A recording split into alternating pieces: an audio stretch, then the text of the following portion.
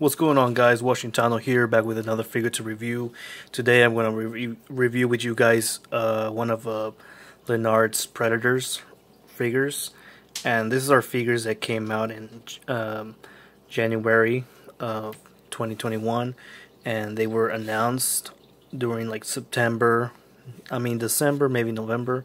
They were announced and uh, I when I first saw them, you know, they, I I knew that they were going to be Walmart exclusive. So you see right there, the Walmart exclusive, and um, when I saw those figures, you know, they they seemed like really simple and like the, I just found them interesting because me as a Predator fan, you know, I was like, I'm gonna get them and just to check them out and see if it's uh, uh just to check them out because like you know I'm a Predator fan and uh, they are pretty cool. When I saw the box, the box you see is pretty cool. There's that window box right there. You see the Predator, and it says right there the Hunter weapon accessories, jungle, and it says 25 points of articulation. That's what it's saying. There's by Lanard. There you see the Predator, the Jungle Hunter. And this is the Predator collection, Hunter series. There's 7 inch. These are 7 inch figures. And there you see that's a Walmart exclusive. And they're only $10. Like, wow. A $10 figure a 7 inch 25 points of articulation predator figure from Lanard and they're only $10 that's amazing you know? And the side of the box you see right there predator collection I really like that uh, picture. That graphic in the background looks really nice. I can't tell what predator is that. I don't know if it's from the comics but yeah. And here are the other three predators that are also included. They're also they're also available. Um, there you see the Hunter, the, the 7 inch. Here we have the Jungle Hunter, City Hunter, and Berserker Predator. Um, the side of the box, the other side is just Predator Collection, the Pre Hunter series. The bottom side of the box, just Predator Collection, nothing else. The top part, the Hunter series, and you see that Predator uh, a name from the first movie. There you see the targeting, you know, the the three dots right there. He's about to target, you know, he's about to fire. And there is another graphic right there of that predator. And the back of the back of the box right here you see the figure that we're about to review. A nice picture right there, good looking picture. And if you guys want to pause that and read that, feel feel free to do it. This is really nice. Really, really nice. And there you see the Lanard's, 20th Century Fox, and this is the, the Predator that, that's gonna that's inside the box. These are the accessories that come with the other Predators. There you see a plasma bazooka, the smart disc, the electro claw, a combi stick, and the wrist blades. And yeah, so let's take this guy out of the box and see see what he looks like. Okay, here we have the figure. And let's start off with the measurement tape. And yep, he measures up exactly 7 inches. That makes him right around 18 centimeters in height. And yeah, this is the figure. And wow, these figures are amazing. For just $10, they're just nicely detailed. They're nice, uh, they're nice articulated. They're very posable. And, um, yeah, there's there's some things that we're gonna talk about the figure, but first, just look at the background of the box that that I got him out of. You know, this is really nice what he came with. I mean, you see the infrared vision of the predator, and you see that target where he's about to shoot his plasma caster, the one that he has on his shoulder there. And uh, you see the leaves right there from the jungle. You see like a rocky ground right here. Looks really nice what they added. It's really nice. I really like this. It's really awesome. So yeah, this is the Jungle Hunter, the from Lanard. He's a seven-inch figure. He was only ten dollars in Walmart. Um, uh, for some people that didn't end up finding them because you know they they go by fast. I went to like several Walmarts, I think like to seven Walmarts, and they were all going by fast, like fast, fast, fast, like pan caliente, like my mom would say. Um, they were, uh, man, but just ten dollars. Wow, not even the Hiya toys cost that that less that uh that that price, and this is a Walmart exclusive. And uh, the thing why the reasons why they're like uh, very low price. I mean, like these figures are actually meant to be to play with. You know, just like the the Godzilla and King Kong figures that I reviewed a few months ago. They were by Playmates. They were actually figures. They're made to, uh, well, they they they they, they are like collection quality. They're not like collection quality like the NECA figures, but they were like more for figures to be played with. So these these are exactly what the uh, Predators. They released a figure that is a predator that is meant to be played with. I mean, I guess because he does not look like the NECA figures. I mean, they, they besides you know they're not too like detailed. You know, they're they, they're really articulated. They're very posable. Um, the only thing about the the the predator is that, well, you know, I think. Well, you know, one thing you see the the fishnet. You know, they're not painted. They're just molded into the figure. You see that how the predator usually has his fishnet. You know, uh, this one has it, but it's not painted, and it's just molded into the, the chest and the body. You see it right there. And another thing, you know, the this predator, it looks like he was like uncloaking, because you know the predator uses a cloaking device to make himself look invisible through the jungle. Anybody who's seen Predator, you already know what I'm talking about. He has the ability to turn like into invisible. That's why he makes makes him an efficient killer uh, efficient hunter. This is the predator that he's like uncamouflaging. He's a uh, uncloaking, and like NECA predators, they they they had a they have several variant predators that are um, with they're with a translucent plastic. This one doesn't seem to be translucent. It just seems to be like a really white plastic. I mean, it's not really translucent. It's just a really white plastic. You just see some paint splash into his chest right here and his leg and a little bit on his uh, right leg and his right thigh here. Um, his uh, shin guards, you know, they're a little bit painted silver in there.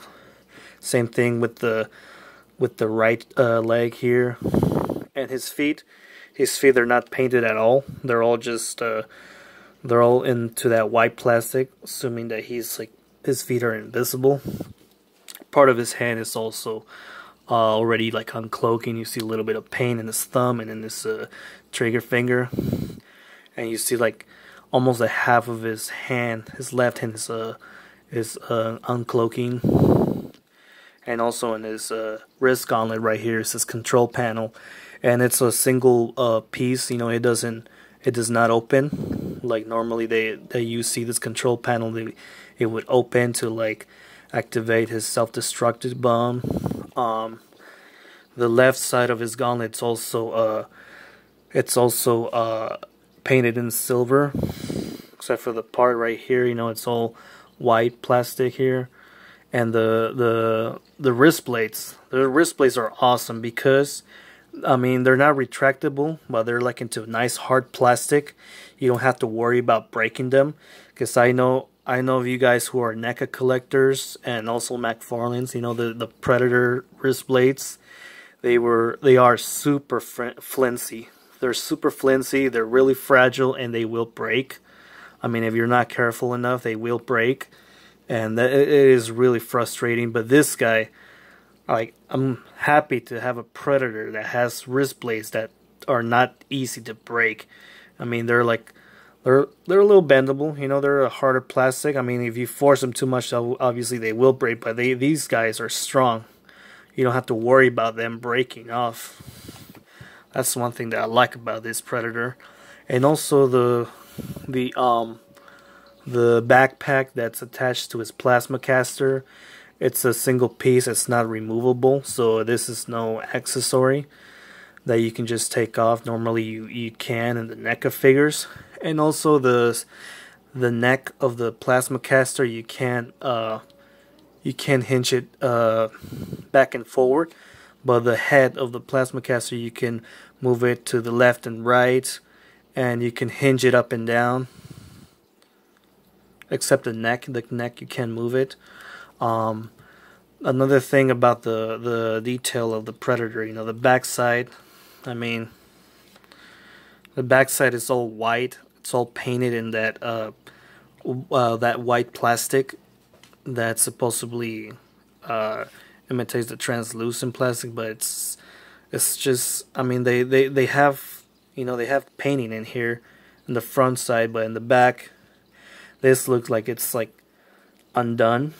I mean, um, only his loin claw, you know, his loin claw is a, a nice uh, rubber plastic. It's a, uh, um, but it's not uh, into that white plastic. I mean, just the only thing that you see color in in his backside is uh, his loin claw and obviously his hair.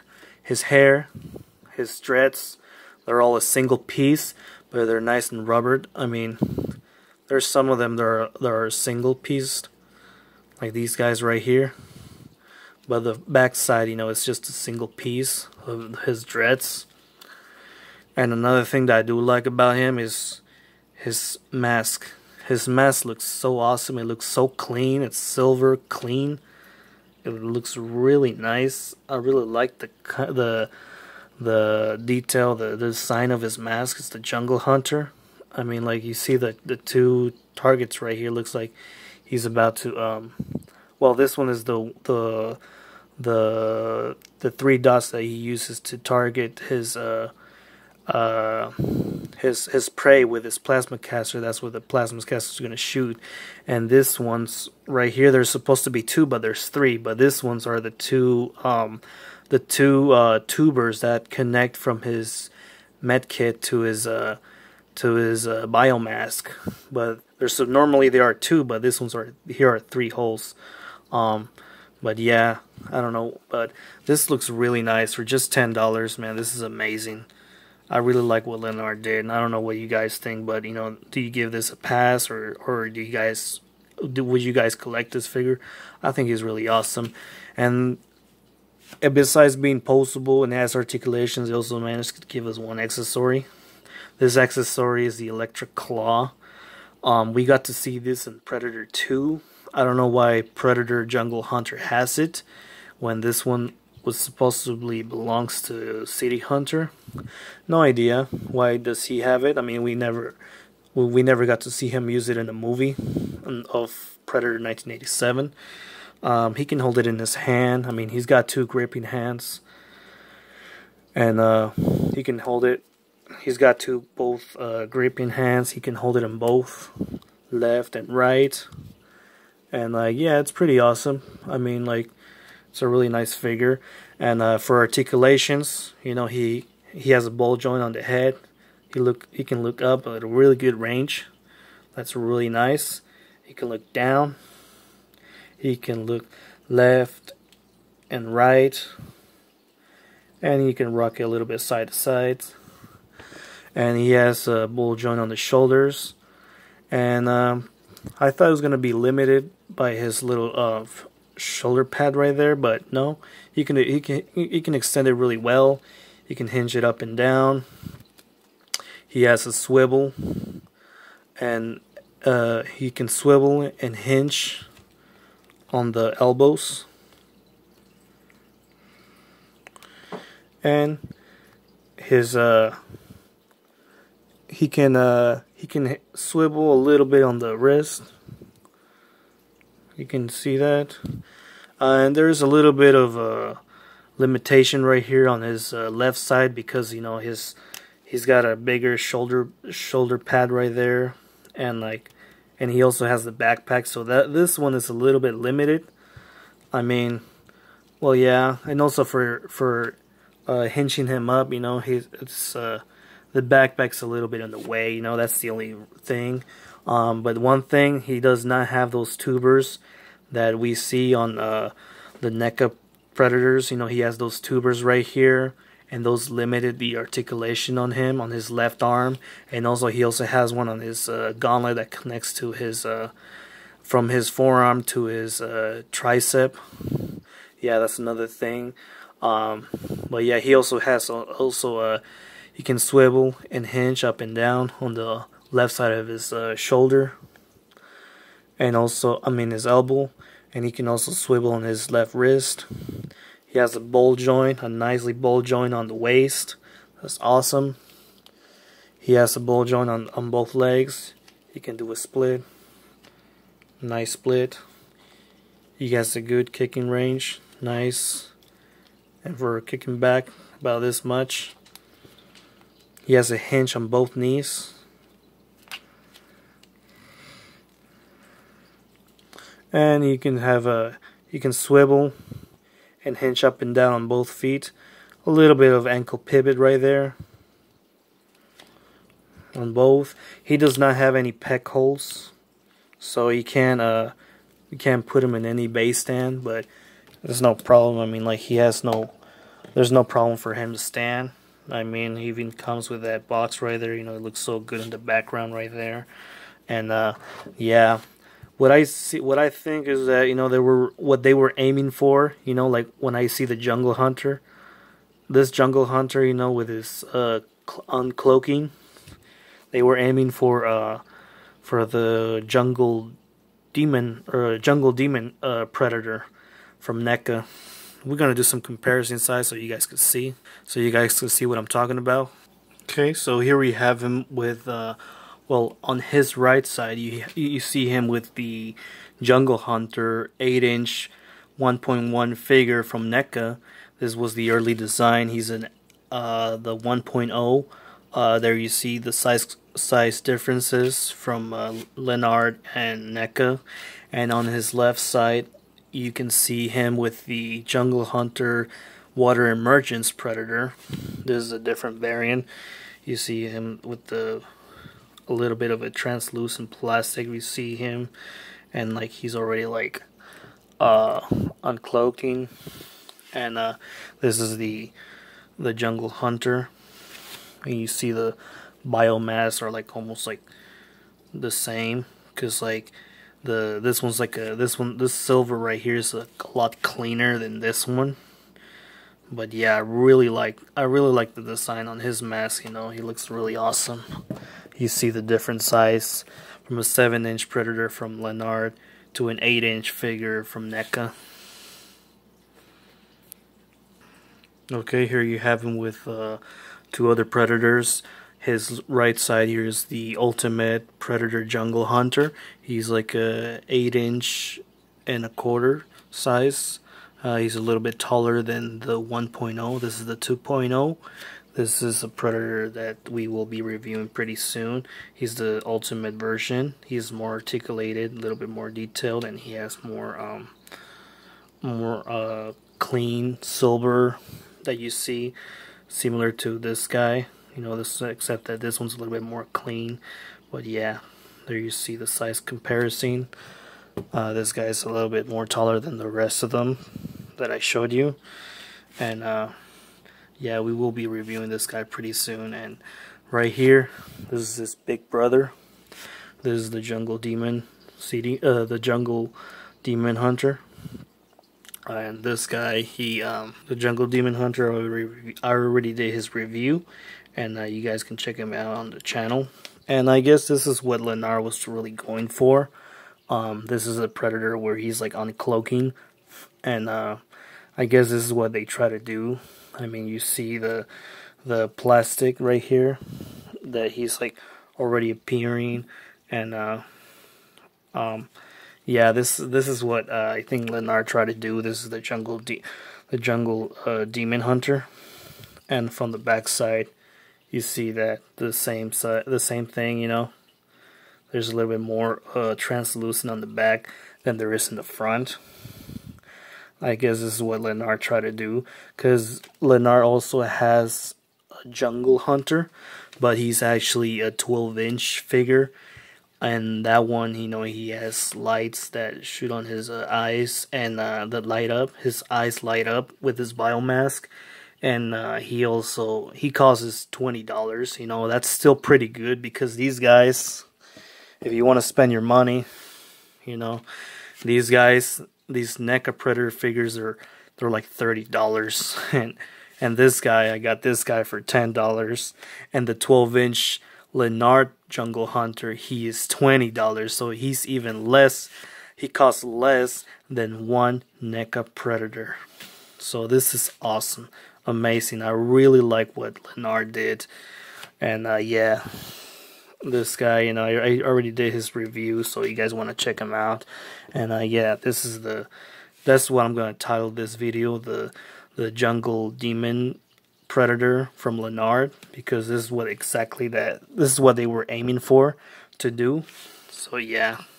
Yeah, for more comparison size, here you have him with the Batman from DC Collectibles, a six and a half inch figure, and also with the Batman from Mattel, the six inch figure.